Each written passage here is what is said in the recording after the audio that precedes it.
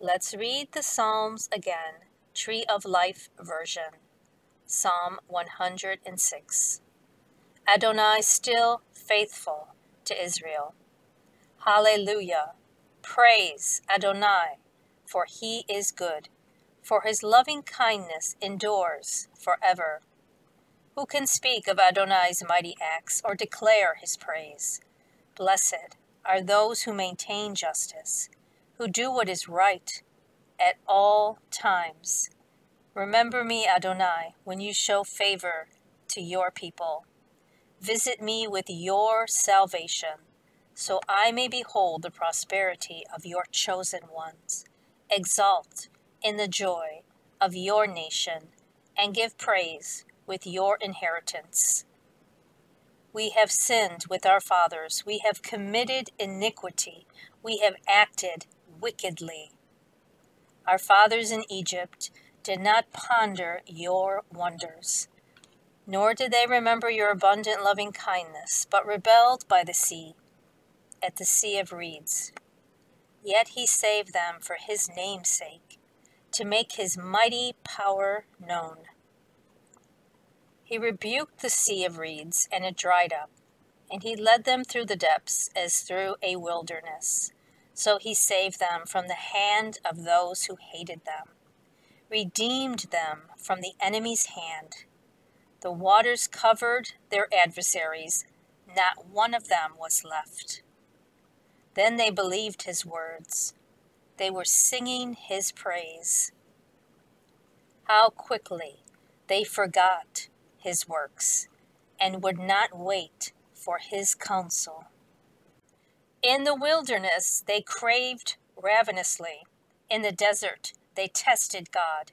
So he gave them what they asked for, but sent a wasting disease among them. Then they envied Moses in the camp, and also Aaron, the Holy One of Adonai. The earth opened up, swallowed Dathan, and covered the company of Abiram. Also, a fire blazed in their company, a flame consumed the wicked. They made a calf in Horeb and worshipped a molten image.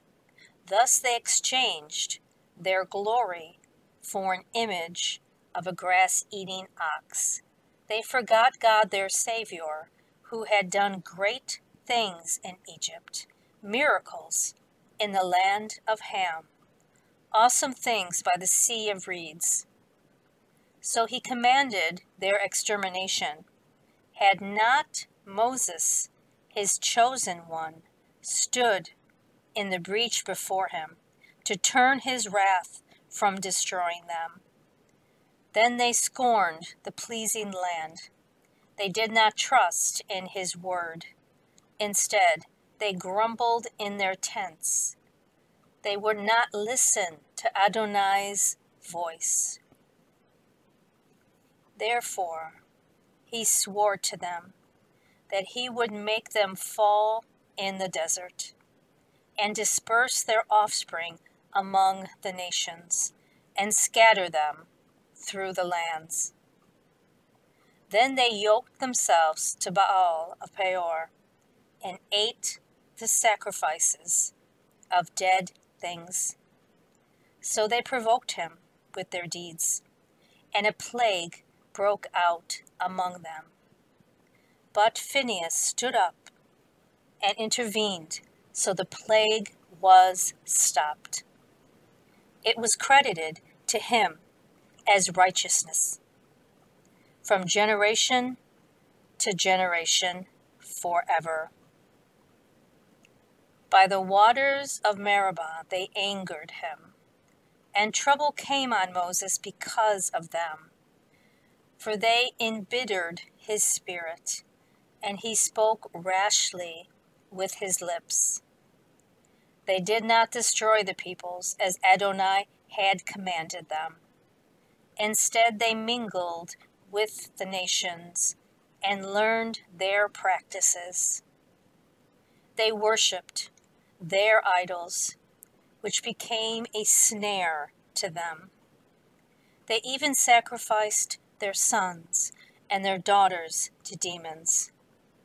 They shed innocent blood, the blood of their sons and their daughters, sacrificed to the idols of Canaan. So the land was desecrated with blood. So they defiled themselves by their deeds and prostituted themselves by their practices.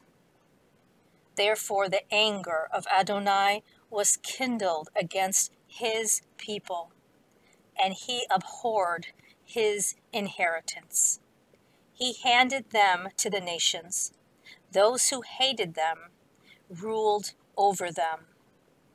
Their enemies oppressed them, so they were subdued under their hand. Many times he delivered them, but they kept rebelling deliberately, and so sank low into their iniquity. Yet he saw their distress when he heard their cry, remembered his covenant to them, and relented in the greatness of his mercy. He caused them to be pitied in the presence of all their captors. Save us, Adonai our God, and gather us from the nations, so we may praise your holy name and triumph in your praise. Blessed be Adonai, the God of Israel, from everlasting, even to everlasting. Let all the people say, Amen. Hallelujah.